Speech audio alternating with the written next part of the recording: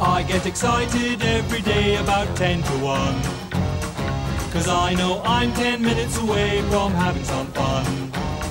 Everything will be okay, cause it's the highlight of my day. It's my packed lunch. It's my packed lunch. You can pack anything in your box if you're tidy and neat. There's such a wonderful choice of splendid things to eat. There's everything you please, but the best thing's Dairylea cheese in my packed lunch. In my packed lunch.